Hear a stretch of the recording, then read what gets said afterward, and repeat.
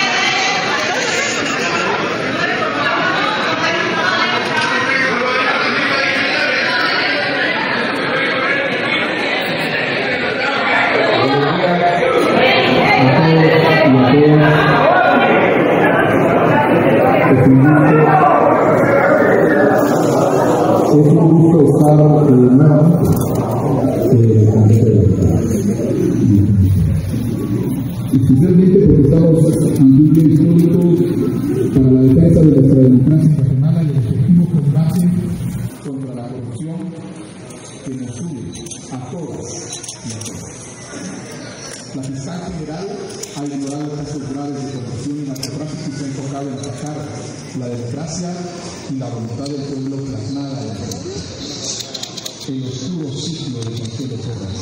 Debe terminar ya. Esta mañana, acompañado de los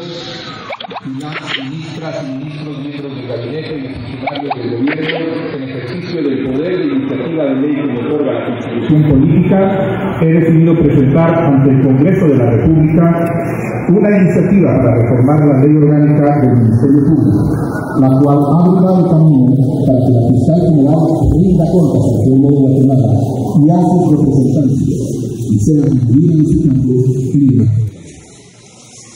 La reforma que proponemos.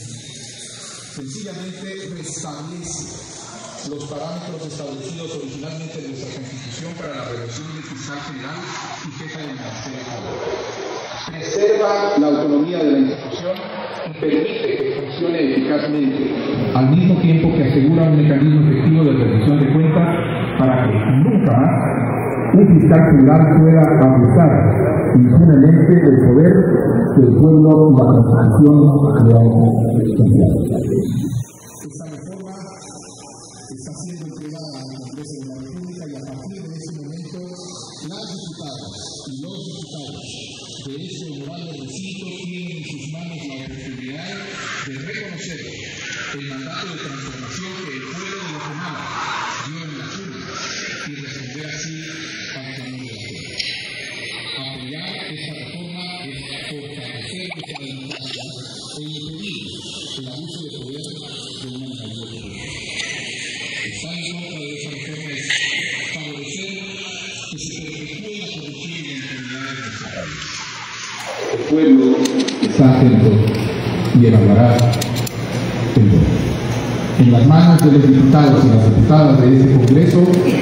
se encuentra la posibilidad de responder al clamor de nuestro pueblo y hacer que Guatemala salga adelante. Y confiamos en que esta décima legislatura sepa entrar en la historia poniéndose del lado de la democracia y de la justicia. Muchas gracias.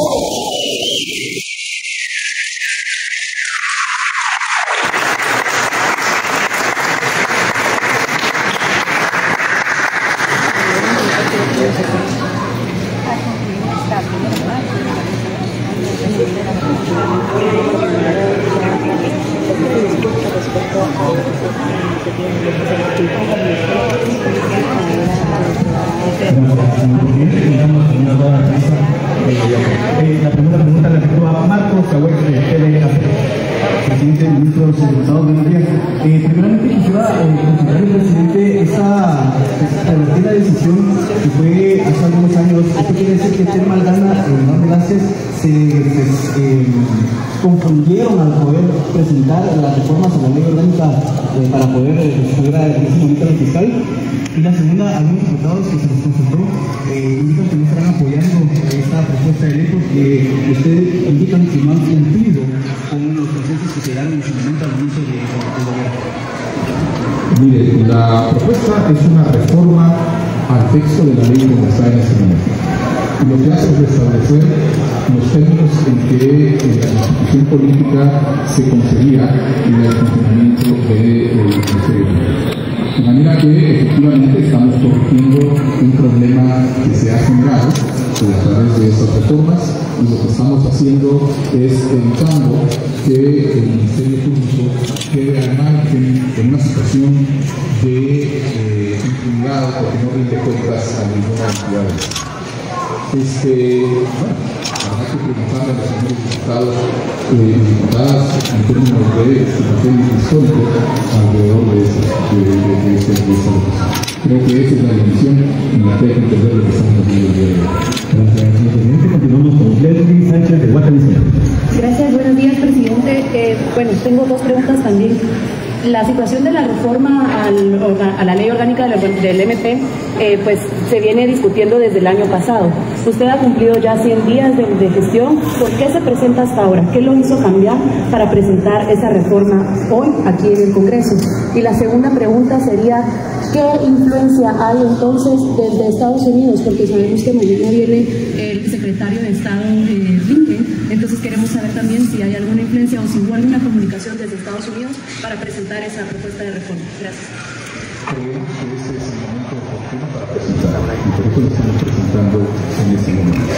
Y la lista de secretarios los límites es para discutir temas de migración en el marco del encuentro regional que no tiene ninguna relación con esto. El gobierno de la República ha tomado esta decisión en relación a su propio análisis de la situación y de las necesidades que hay de responder al clamor popular para que se recupere el control de la libertad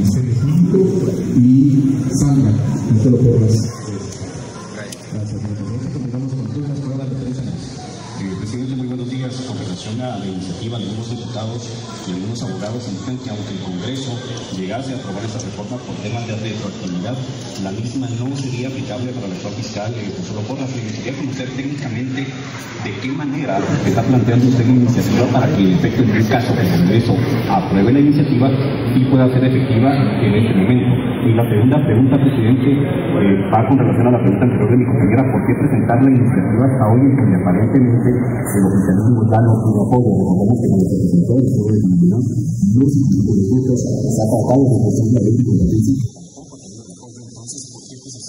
de que aparentemente el oficialismo está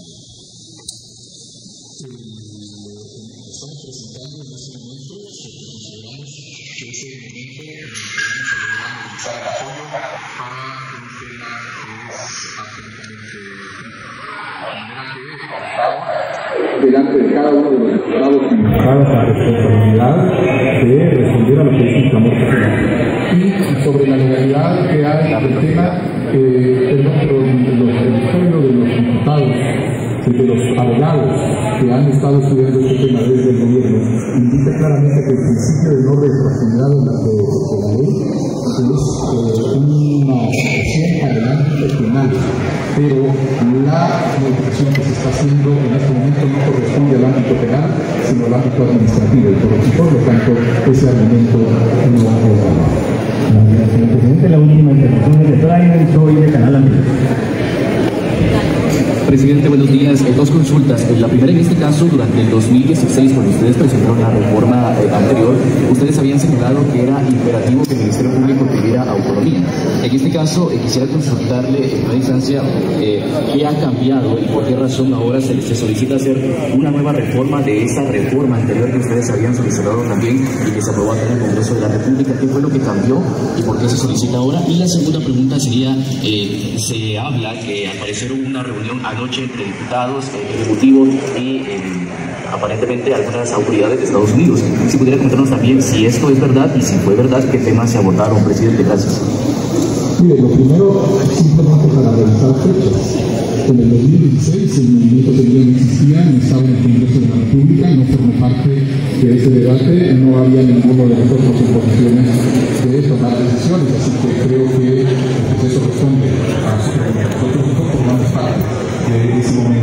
momento de reforma. Y lo segundo, el,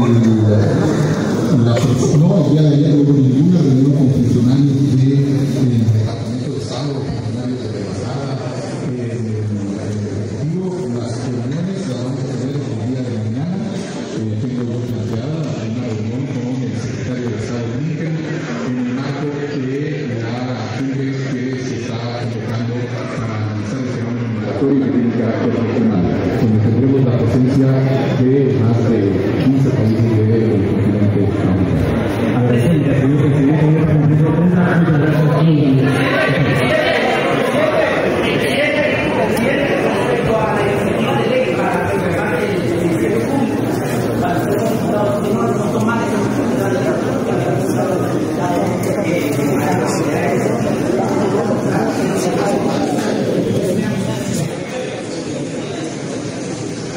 Nosotros hemos presentado la iniciativa de ley que empezamos en el ejercicio del poder público como gobierno y estamos ejerciendo ese mandato y esa potestad para presentar la iniciativa de ley. Este es el momento en el que lo estamos haciendo y confiamos que el Congreso de la República lo analizará dependiendo de las distintas rutas que podemos seguir para lograr aprobar. Muchas gracias.